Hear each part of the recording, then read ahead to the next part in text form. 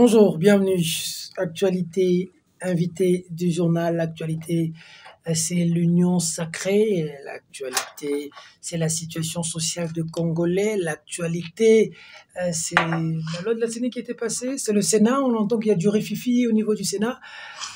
Actualité oblige. On reçoit sur ce plateau. euh, Il a été disponible pour nous. Il a souvent été disponible, mais bon, le temps ne prêtait pas aujourd'hui. Il est tout feu tout flamme. Maître Laurent Nimba, bonjour. Bonjour Peter Tchani. maître, euh, cadre de ensemble euh, pour la République de Moïse Katumbi. Euh, tu te sens bien en, appartenant à Moïse Katumbi euh, au parti de... Écoutez, il n'y a plus de Congolais aujourd'hui qui soient capables de proposer une alternative crédible comme Moïse Katumbi. Soit on a une expertise euh, en termes politiques, soit on a euh, un leadership politique, mais que Katumbi, c'est la somme de ses qualités. Alors, c'est un choix que j'ai fait. Dans ces pays, c'est le pays des plus d'expertise. Personne ne peut, par exemple, méconnaître l'expertise de, de Makata Pogno sur le leadership euh, politique. Personne ne peut méconnaître euh, l'expertise de Martin Fayoulou quand a proposé, euh, euh, je voulais dire, euh, des réformes pour instaurer le bien-être de notre pays. Personne ne peut, ne peut refuser l'expertise de, de Denis Mukwege, justement quant à, à la dimension sociale. Mais j'estime humblement que Katumbi, c'est la somme de ses qualités. Mais Et c'est un choix politique que j'ai fait. les gens peuvent penser que c'est Fachi. hein. Non, c'est fashionable. C'est fashionable. Ah, façonnable. Je ne mettrai jamais de ma vie, ok, Jamais. une chemise estampillée hein. Jamais. Jamais. Tu ne l'aimes pas? Ce n'est pas un pomme d'amour, ce n'est pas une femme. C'est de la haine que tu Non, écoutez, je ne peux pas avoir de la haine contre un chef d'État, c'est notre président, mais que j'estime que je suis au-delà de, de matériel, je suis spirituel et que je ne peux pas, moi, pour euh, faire allégeance à quelqu'un, porter son effigie ou bien sa lettre. Impossible. Ça s'appelle fashionable, comme ta chemise aussi. Oui, mais tu peux aussi mettre comme ça euh, euh, M ou K, MK comme Moïse Katumbi. Ça, je peux mettre parce que c'est personnel. C'est personnel. Ah, J'ai déjà mis, moi, une chemise sur, sur laquelle on est Moïse Katumbi. C'est en dehors du populisme politique. Moi, pour moi, c'est de l'adhésion à une tu n'as jamais cru à l'union sacrée depuis. Tu, tu as été quand même assez. Tu tiré depuis le début. L'union sacrée, euh, d'abord, jusqu'aujourd'hui, je n'ai jamais cru à l'union sacrée. Moi, je suis un garçon droit dans mes bottes. Je n'ai fait plaisir pas aux officines politiques. Je vous avais dit, quand Moïse Katumbi a décidé d'aller à cette histoire de la Mouka, je le dis, on ne peut pas mélanger des gens qui, du point de vue de la philosophie politique, qui n'a même jamais été définie, ok, les libéraux au centre, euh, euh, et puis de l'autre côté, c'est des, des écolos à côté des, des, Des socialistes. des socialistes ou des sociodémocrates. Non, non. Tant que le- les piliers qui doivent sous-tendre l'organisation n'est pas défini, on ne peut pas avoir une organisation. C'est un des deux. Vous avez vu que c'était une sorte de ménopause de politique parce que Katumbi avait une idée pour le Congo. Il y avait des gens qui sont venus à la Mouka en fait pour se repositionner quant aux responsabilités. Et l'histoire m'a donné raison. Je me rappelle encore mon aîné Moukébaï quand on était à Lubumbashi, il m'a dit, mais si tu ne crois pas à la Mouka, qu'est-ce que tu es venu faire ici? J'ai dit, non, je suis un libéral. Je suis un Katumbi, c'est Katumbi qui m'a invité. Je suis pas venu ici pour faire plaisir à quelqu'un. La preuve, il y a des égaux surdimensionnés au niveau de la Mouka, Mm. jusqu'au au point où on ne sait pas parler entre ces, ces, ces, ces grands hommes politiques. Hmm. Et on est arrivé à l'union sacrée. Je vous ai dit que l'union sacrée n'était qu'une sorte de deuil politique. Tu sais, autour d'un deuil politique, on invite les gens, même les ennemis. Parfois, c'est la personne qui pleure plus qui a tué. L'union sacrée n'aurait jamais eu un sens sans Modeste Bati, qui en est le concepteur politique. Aujourd'hui, Modeste, je- Modeste Bati. Modeste Bati qui a pris tous les contacts avec les députés. Il n'a eu besoin que d'un soutien financier pour donner corps. Et vous allez voir que on a mis Moïse Katoumi dans le collimateur quant à cette question de la nationalité et on connaît que l'initiative vient de la présidence de la République et donc du sommet. Ah bon? Ah oui, il faut à un moment donné que des gens courageux le disent parce que nous l'avons dit et j'étais suivi sur Twitter, tu as dit euh, que un député va porter le fardeau de, de cette proposition de loi. Aujourd'hui, on veut donner justement à quelqu'un qui est député contre une compensation de portefeuille dans une entreprise. Directeur de la SNEL. Et c'est malheureux. Et Mbosso, Mbosso l'a dit quand on lui a posé la question par député de l'ensemble. Il a dit que, écoutez, on n'a jamais mis de député au service pour porter ce- ce- ce- ce- ce- cette proposition de loi. Aujourd'hui, Mbosso ne peut plus nous revenir pour nous regarder. Mais qui peut faire confiance à Mbosso? Personne, vous savez, vous avez entendu ce audio, personne ne nous fait confiance. Et donc, j'estime que Mbosso, c'est pire que Mabunda. Mbosso, c'est même plus pire que Dieu le Père et Dieu le diable dans la négation alors de ce qui est bon. Parce que ni du point de vue de la valeur euh, parlementaire, ni du point de vue de l'éthique, parce que vous avez entendu ces audios que vous-même vous, m'avez envoyé. On ne peut pas imaginer qu'un président de la République, dans un contexte qui est le nôtre, post-Covid, plutôt, que je veux dire, le président de l'Assemblée nationale, qu'il utilise un tel langage. Vous avez entendu ce propos contre Daniel Safo. Ça signifie que, au-delà de l'officiel comme justice, il y a toujours une administration justice parallèle. Il a empêché qu'on arrête Daniel Donc, Daniel Safo était déjà quelqu'un qui devait être arrêté. Arrêté. Mais Mbosso a dit Parce non, la fois la prochaine, la fois prochaine, je ne vais pas te défendre. Donc, il ne faut pas me parler de Mbosso, je ne calcule pas politiquement. Je reviens à l'Union sacrée pour te dire que Modeste Bati en est le concepteur politique. On apprend qu'il est sur un siège éjectable. Non, non, mais il est venu, Il y a justement. même des pétitions déjà. Vous avez suivi les déclarations de, a protégé des gens de l'UDPS qui l'ont absolument, à cause du fait que la, la plénière s'est exprimée dans le dossier de Matata. Aujourd'hui, Bahati est devenu l'homme à battre. Je t'informe que de mes informations, Bahati va devoir. euh, Il y a une pétition qui circule sur le, euh, euh, dans le couloir du Sénat. On veut l'injecter. Oui. Ce n'est pas parce que on veut l'injecter du, du fait de Matata, mais on veut utiliser l'argument comme quoi c'est le, le fait qu'il ait marché contre la volonté des sénateurs qui ont levé les immunités de Matata Pogno, Hmm. comme quoi les sénateurs sont contre lui, mais arrêter est une démarche politique d'exclusion. En disant, on a, on, Katumbi, euh, la loi sur la, la communauté va s'en occuper, et tout ce que vous avez entendu sur euh, les déclarations de dire ce sont les Congolais qui ont tué ces pays, n'était uniquement que la poudre aux yeux. Cette loi-là, a- Fachi a dit que les Congolais. c'est une poudre aux yeux, Le président a quand même dit que c'est les Congolais de père et de mère ça, ne veut rien dire. Et le président. Et je te mets au défi, L'Assemblée nationale est libre, un député a, a- Non, le non, droit, tu es vous juriste, savez que cette- de venir déposer un vous document. savez que cette Qu'est-ce que ça a à voir avec Fachi? Tu sais que cette assemblée nationale-là est dans la poche d'un individu. La preuve, ils vivent sous perfusion financière. Vous trouvez normal dans un monde aujourd'hui que quelqu'un aille faire des montages euh, financiers pour avoir l'argent, 27 millions de dollars, de donner des jeeps aux gens qui n'ont pas demandé. C'est une honte d'État que vous trouviez des gens que je salue comme Denis Sanga qui ont dit je n'ai ni demandeur ni preneur. C'est une honte. Et c'est à ce niveau-là que je, je, je m'adresse aussi à l'IGF. Si l'IGF veut s'affirmer, qu'il aille, parce que ce travail-là va se faire autour du cabinet de Kabound. Mbosso n'est qu'une vitrine. Allez à l'Assemblée nationale et dites au peuple congolais, les 27 millions sont venus d'où? Je reviens à l'Union sacrée, Peter. Tu sais, on n'a pas beaucoup de temps. L'Union- Quand on, a, on, on, on s'est rendu en évidence que euh, euh, la victoire de Félix Tshisekedi n'est plus certaine en 2023, on a mis une stratégie telle que on veut euh, exclure tout ce qui pose euh, des jalons de- de- de- d'une victoire certaine. Et Bati, ne vous en faites pas, n'est pas le dernier de la terre. Bati est, est- est un stratège politique. Alors, comme Kamer est en prison, je l'ai tuté, je le dis, Kamer est en prison, Matata, on, on a, on a focalisé l'attention euh, euh, sous la coupe des dossiers, comme si, euh, quand on est Premier ministre, tous les dossiers qui passent sous votre PO, vous en êtes le responsable pénal, nullement, et des cartes visa. je peux même te, révéler d'autres je hein. peux te révéler d'autres dossiers qui vont venir quand toujours à Bukangalonzo. Je peux te relever des dossiers qui vont venir. Aussitôt que, là, dans deux, trois semaines, on va encore ressusciter un autre dossier. Et aujourd'hui, c'est bâti, et, ba- et- et comme on sait que Bemba est juridiquement dans une situation hybride, Hmm. donc, le décor est planté, et pour moi, l'Union sacrée est devenue une poudre aux yeux. Non seulement que l'Union sacrée n'a aucun cadre juridique, ok, qui sous-tend son, son, son, son ex- euh, comment dire, son existence comme, comme structure, mais que aussi l'Union sacrée est une métaphysique politique qui est dans la tête d'un individu. Ce n'est pas différent de la dictature. Félix est un dictateur. Je dis ceci, l'Union sacrée n'est pas différente de la dictature. Mais si c'est votre conclusion, je m'incline. Mais rassurez-vous que il y a, comme on peut dire, euh, une situation politique qui est dans l'air du cyclone. Mais les Congolais ne vont jamais accepter. Si en, 2000 en 2018, c'était le combat de l'alternance, en 2023, c'est le combat ok, de la crédibilité et de la transparence des élections. Ce pays, c'est le pays de 80 millions de Congolais. Et il y a eu des gens qui sont morts. Les héros sont morts, Peter. Toi, tu as fait la prison. Les Carbone Béni ont fait la prison. Rossi est mort. Ça serait peut-être Laurent. Ça serait Serge Kabongo, quelqu'un d'autre. Et c'est aujourd'hui que nous allons accepter de subir les dictats d'un groupe d'individus qui pensent que le Congo, c'est pour eux. Mais si on a volé hier, aujourd'hui on continue à voler. Ce n'est pas moi qui le dis, le chef d'État l'a dit, que la justice ne rassure pas. Ce qu'il n'a pas voulu dire. C'est que la justice est au service de l'argent et du ventre.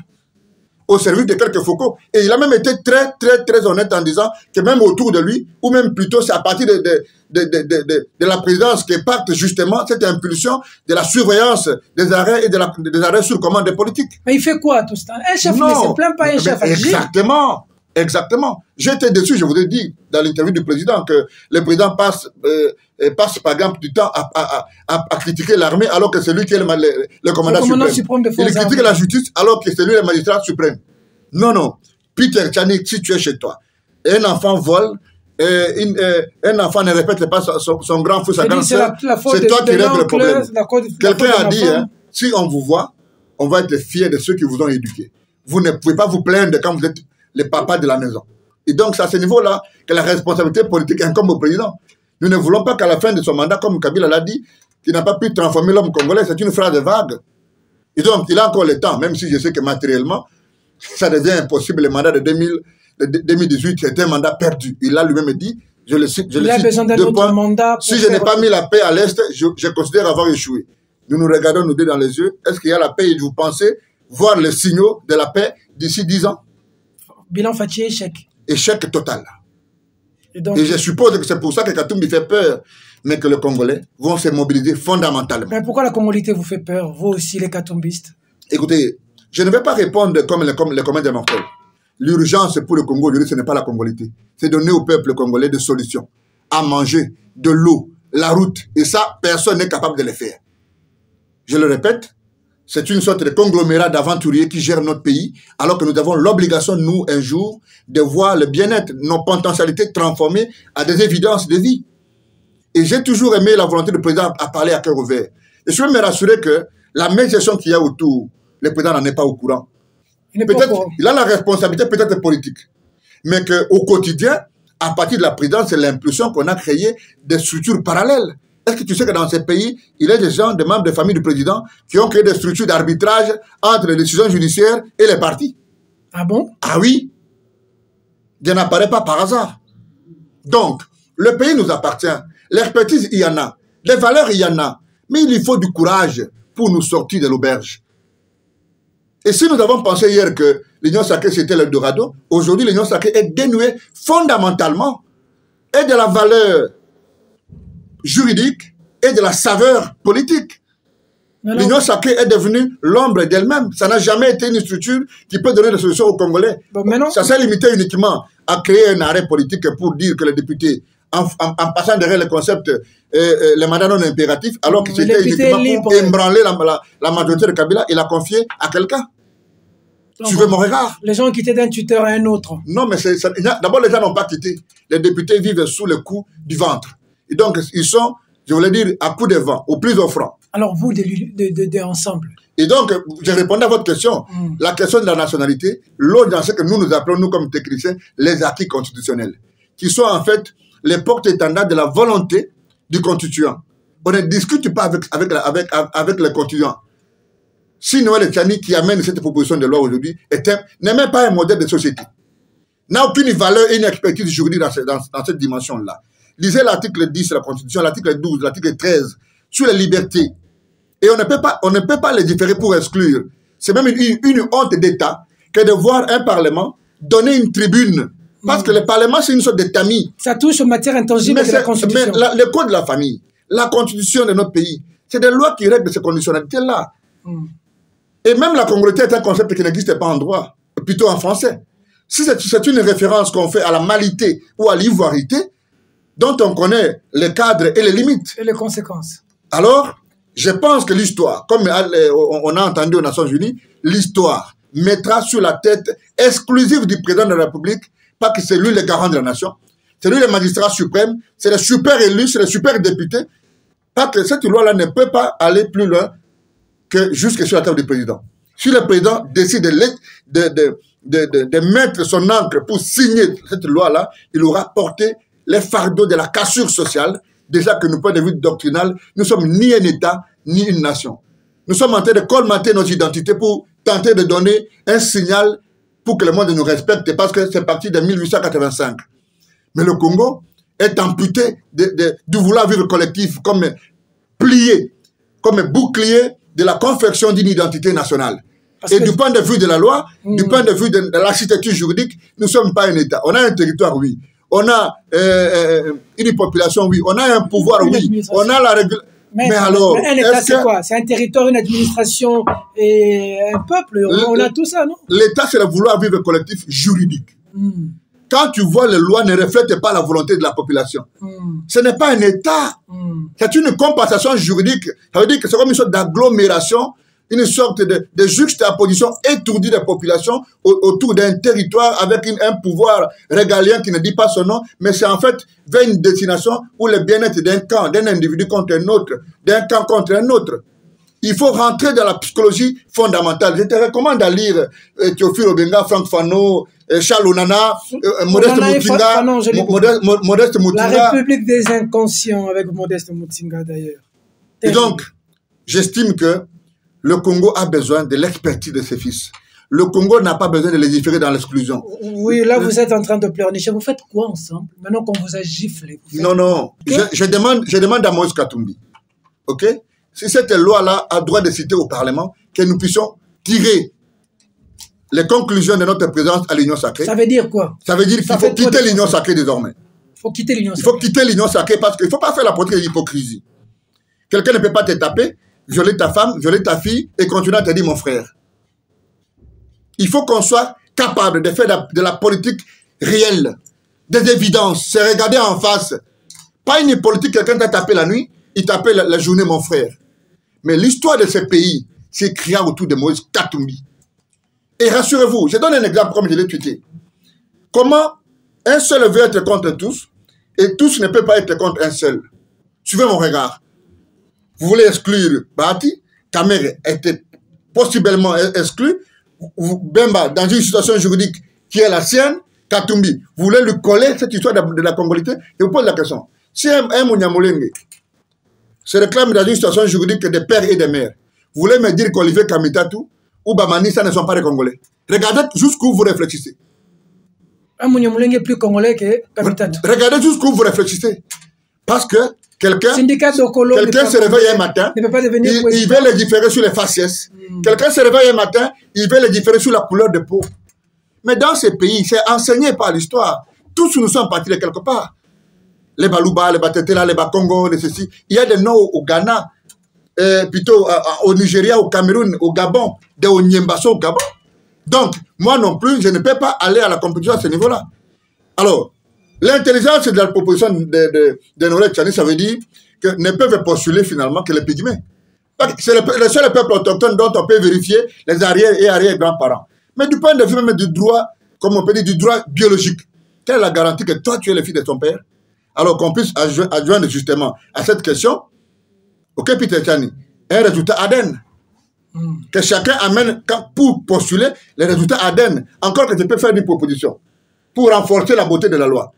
Parce que nous sommes un peuple africain et que nous voulons justement des hommes sains au sommet de l'État, qu'on vérifie que quiconque doit postuler à la magistrature suprême est une même femme, c'est une valeur africaine, hein, est une même femme, n'ayez pas fait un enfant dehors, ok, soit capable de supporter ses enfants, pas des hommes dont les femmes se plaignent sur les rues, qui sont incapables de supporter les enfants, mais aussi, mais aussi que ces gens-là, à ce niveau-là, chacun ait brandi la preuve d'avoir fait de bonnes études. Ça veut dire qu'on va fouiller de l'école maternelle à l'université et vous allez voir que dans ces pays ici, il n'y aura pas trois candidats. Même si nous sommes 100 millions d'habitants, il n'y aura pas trois candidats. Est-ce que vous avez l'impression d'avoir été roulé par Félix Tshisekedi? Mais c'est clair. C'est clair. Tu connais la politique de la carotte et du bâton? J'avais dit à Katumbi,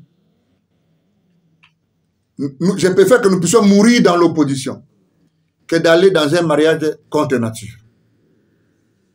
Pour qu'on vous proclame marié, vous devez être doté du certificat de mariage. Si c'est un enregistrement, une régularisation, ce n'est pas un mariage. La preuve, dans les deux ans de votre mariage, au lieu de saisir le juge de, divorce, vous devez saisir le juge de la nullité. Et là, nous sommes dans les deux ans. Je viens demander à mon charman Moïse Katumbi, n'attendez pas qu'on dépasse deux ans, parce que nous allons, la procédure devient très lourde pour demander le divorce. Il faut le faire avant deux ans pour obtenir la nullité.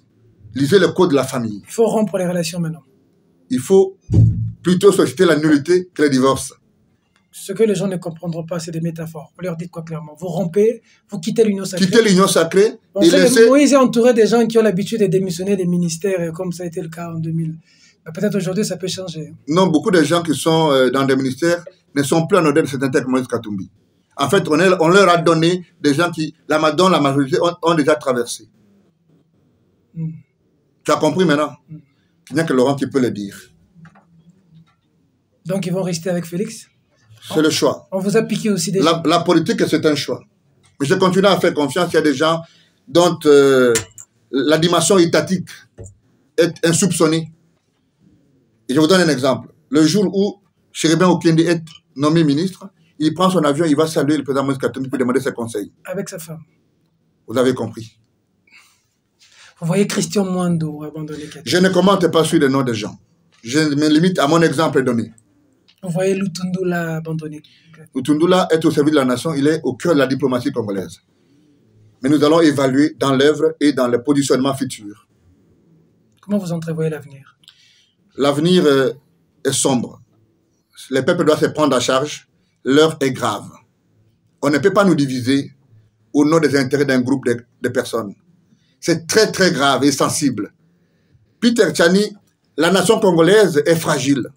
La démocratie est octroyée. La justice titube encore. Le courage des recettes, c'est la règle. La faim, la famine, l'absence d'eau du courant sont nos caractéristiques. Il faut un leadership visionnaire. On m'apprend qu'à Monga Fula, à Massangambila, où moi j'ai fait des années, aujourd'hui il n'y a pas d'eau, c'est des forages partout, en plein Massanga. Peter Tchani, vous allez loin. Les quelques immeubles qui sont sur le boulevard, construits justement à l'indienne, c'est pour des étrangers. On va nous faire la guerre dans ces pays pour ces immeubles-là. Aujourd'hui, nous, nous avons payé la dette de ce qu'on a appelé les organisations. La prochaine fois que nous allons vouloir dire à ces gens-là que vous devez rentrer chez vous, ils vont vous dire donnez-nous les colis, on va emporter nos immeubles. On n'aura pas la possibilité. Le Congolais est un locataire chez lui. Tu connais combien de Congolais ont un immeuble estampillé Peter Tchani Laurent Onyemba Combien d'hommes d'affaires sont au Congo? Mais on ne développe pas un pays avec des utopies et des gros mots. On développe une économie Le avec peuple une stratégie. Le peuple d'abord. Non, les peuples d'abord, c'est une. comment, comment je vais dire Les peuples d'abord, c'est, c'est, une. euh, euh, c'est un monstre euh, des projets politiques. Les peuples d'abord n'a jamais été une réalité. La preuve, vous suivez euh, le fils Moukoko. Il dit la philosophie du père n'est plus aujourd'hui respectée. C'est une masturbation politique, comme projet de société. Déjà, si vous voulez donner un contenu à votre philosophie, le peuple d'abord, écrivez, parce qu'on ne va pas faire ce qu'on appelle la civilisation de l'oralité. Si vous voulez que nous puissions vous rencontrer sur la philosophie politique, sur ce que vous proposez comme, comme euh, euh, arcane de gestion de société, écrivez. Pour vous qui vous êtes battu hier, sous Kabila d'ailleurs, avec les bruits de bottes, comment vous voyez la situation aujourd'hui Vous regrettez tout ce combat Peter tu sais, chaque fois que j'ai répété la phrase, les gens me disent non, ils cherchent l'emploi. Je ne suis pas un chercheur d'emploi, ni demandeur, ni preneur. Mais moi, je suis monté dans un avion un jour, je revenais de Montréal, j'ai atterri à Bruxelles avant de venir à Kinshasa. Les Congolais de Bruxelles sont tentés, ils m'ont, vu dans l'avion. Quelqu'un m'a posé la question. Ils étaient à trois, ils m'ont appelé, on est allé dans la cabine. Il m'a dit Laurent Onyemba, Félix Tshisekedi est au pouvoir. Tel que nous on t'a suivi, toi Laurent Onyemba, tu es dans l'opposition. Je n'ai pas voulu pleurer parce que je voulais avoir des postes. Je n'ai pas besoin ni de voiture ni de maison. Mais je me suis dit que ces gens, les gens nous regardent. En dehors de quelques, quelques groupes de, de, de, de tribalistes qui pensent que c'est une affaire de tribus, il y en a encore des milliers de Congolais qui ne parlent pas, qui sont plus intelligents que nous qui parlons La main silencieuse. et qui regardent les choses les avec objectivité. J'ai regardé le président Félix j'ai une photo avec lui, à image. Il était en, en- en chapeau euh, modèle. euh, voilà. J'ai pris la photo avec le président, il était avec un va, il va suivre l'émission, il se rappellera d'un ami qui s'appelait Pablo, qui est aux États-Unis. Et au même moment que le président était à image, Martin Fayoulou avait un t-shirt blanc, il distribuait les papiers, les flyers autour des Botours pour dire non au troisième mandat et à la révision constitutionnelle. Félix Tshisekedi est-il à l'aise de dormir sur son oreiller et savoir que Martin Fayoulou est à côté et que Fayoulou n'a pas mangé pour les mêmes combats? C'est une honte, non Que les mêmes amis de Genève aujourd'hui soient capables de se tirer les pieds ou les balles sur les pieds. Alors, nous avons, nous, une classe politique au service du ventre et non au service des idéologies. Vous allez tuer des gens, vous allez emprisonner des gens, oui. Qui pouvait imaginer un jour que le colonel Dicapel sortait de la prison? Le destin, c'est Dieu qui en est le maître. Temps, c'est un véritable allié. Même votre propre épouse, elle peut vous dire à un moment donné que vous êtes très beau. il faut l'évaluer le jour où il rencontre, rencontre Adam Bombole, il rencontre Moïse Katumbi ou Salomon Escadela. Et que uniquement après un, café, il a 50 000 dollars, il a une Range Rover pour évaluer le taux de son amour. Il va t'insulter après. Tu as compris. Ça veut dire que sous Fachi, c'est pire que sous Kabila. Je commence à dire que dans les deux, dans les deux ans à venir, on va donner raison à Kabila. Et moi, je commence à regretter Kabila. Kabila nous laisse orphelins, même de son silence savant. Et Kabila a dit un jour, ne parlez que si les mots deviennent plus forts que le silence. Alors je m'étais par là. On a fini. Maître Laurent Niemba, un mot par rapport à Mamadou Ndala. Était-il moins congolais que Noël Tiani? Mamadou Ndala, c'est le chef de l'État. C'est un héros.